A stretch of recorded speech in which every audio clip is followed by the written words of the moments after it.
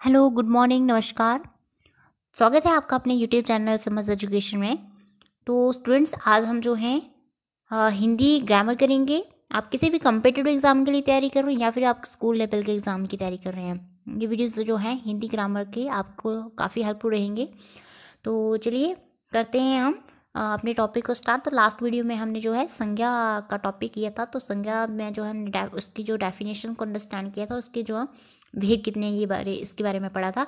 तो आज हम जो है उनके भेदों के बारे में चर्चा करेंगे। तो आपका फ़र्स्ट है कि व्यक्तिवाचक संज्ञा। व्यक्तिवाचक संज्ञा किसे कहते हैं?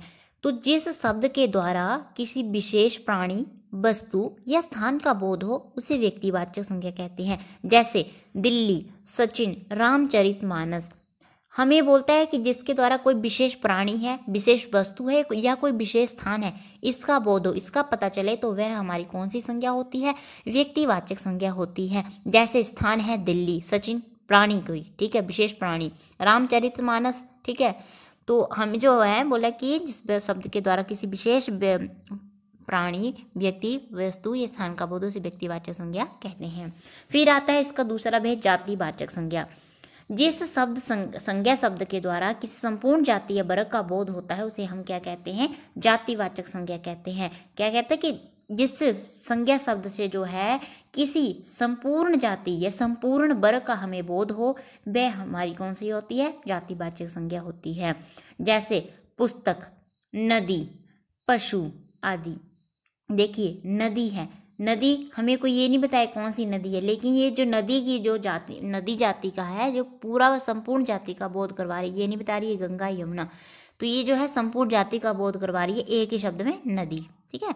भाववाचक संज्ञा, भाव व्यक्त करना, इसी से पता चला कि जिस शब्द से किसी के गुण, दोष, स्थिति या अवस्था का बोध हो, उसे भाववाचक संज्ञा कहते हैं।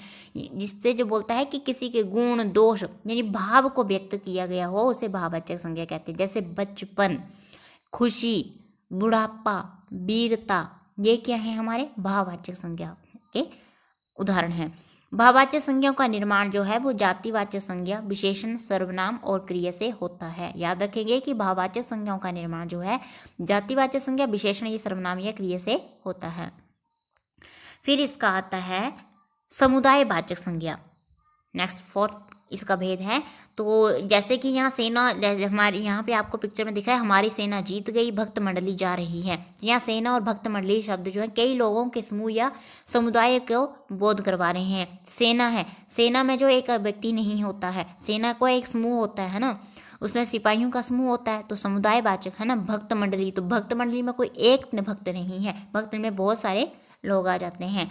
तो जिस शब्द, संज्ञा शब्द से व्यक्ति या वस्तु के समूह या समुदाय का बोध होता है, वह समुदाय वाचक संज्ञा कहलाती है। ठीक है, इसमें आप एग्ज़ाम्पल जैसे लिख कर सकते हैं कि जैसे हमारी सेना जीत गई, भक्त मंडली जा रही है। जैसे जैसे सेना, भक्त मंडली, ये क्या हमारे समुदाय बच्चे संज्ञा के उदाहरण हैं। फिर आता है द्रव्यवाचक संज्ञा। सोना, चांदी, दूध, दही। ये जो है किसी पदार्थ की जानकारी दे रहे हैं हमें। तो जिस संज्ञा शब्द से किसी पदार्थ, धातु या द्रव्य का बोध हो, उसे द्रव्यवाचक संज्ञा कहते हैं। जैसे सोना चांदी, पदार्थ है ना, धातु है, उसके बारे में बता रहा है, दूध दही, द्रव्य पदार्थ है, ठीक है तरल जो हमारी अवस्था है, उसको बता रहा है तो द्रव्यवाचक संज्ञा है, ठीक है, सोना, चांदी, दूध, दही। तो स्टूडेंट्स ये थे हमारे जो है संज्ञा का आपका वीडियो तो आई होप आपको ये संख्या का टॉपिक अच्छे से क्लियर हो गया होगा. और जो भी इस चैनल पर नए हैं चैनल को लाइक शेयर सब्सक्राइब कर दें और बेल आइकन को प्रेस कर दें ताकि वीडियो की नोटिफिकेशन आपको सबसे पहले मिल सके. और अपनी वैल्यूएबल फीडबैक जो कमेंट सेक्शन में ज़रूर दें. तो आज के वीडियो में इतना ही. मिलते हैं नेक्स्ट वीडियो नए टॉपिक के साथ. तब तक लिए thank you thanks for watching